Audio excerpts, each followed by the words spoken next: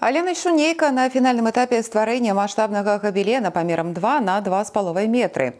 Праект пад назвай квітнейшая гродзеншына будзе прэзентаваны аўтарам у дзень незалежнасці Рэспублікі Беларусь 3 ліпеня. Лаўра спецыяльнай прэміі прэзідэнта дзеячам культуры і мастацтва працуе на унікальным ткацкім станку, які не мае аналага ў рэспубліцы. Тацяна Грышук раскажа.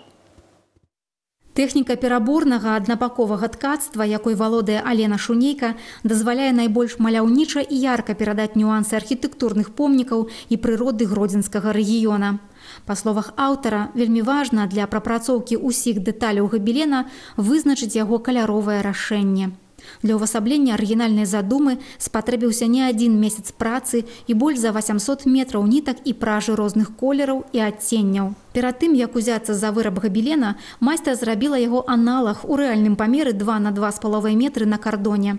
На ім спачатку былі прамаляваны ўсе элементы і часткі будучага твора. Свята-міхайлаўскай царквы ў вёсцы сынкавічы, жыровіцкага манастыра ў слоніме, каложскай царквы фарнага касцёла і старога замка ў гродня.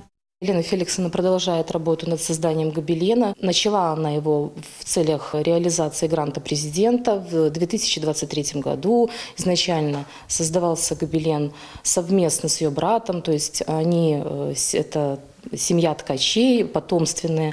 Был создан большой эскиз, по которому Елена Феликсовна нынче ткет. На сегодняшний день она уже на финальном этапе создания гобелена. Мы все его с нетерпением ждем. На сваіх унікальных палотнах Алена Шунейка увасабляе важныя падзеі гісторыі нашай краіны. Да слова, адна з апошніх маштабных сумесных з пераемніцай Юліяй барадзіной работ габелен гісторыі жывая ніць, прысвечаны 75годдзю вялікай перамогі. Новае палатно, над фінальным этапам якога зараз працуе Алена Феліксаўна, уражвае размахам, каляровымі і мастацкімі рашэннямі. Кожны ўзор на габелене ўплятаюцца ў форму вялікай арнаментальнай кветкі. Па словах майстрыхі, рознакаляровая выява, своеасаблівы гімн стваральнай творчай працы беларусаў.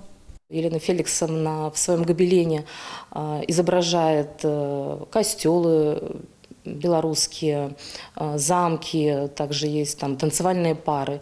Э, своего рода э, продолжение жизни после тяжелых военных лет, э, процветания Беларуси. Сам гобелен был показан только частично, разные этапы его создания. Сегодня можно увидеть э, финальный этап создания.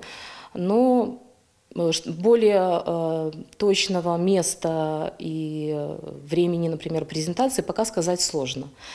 Мы все стараемся к 3 июля более пафосно, возможно, где-то на сцене, возможно, с привлечением каких-то дополнительных ресурсов культурных представить гобелен.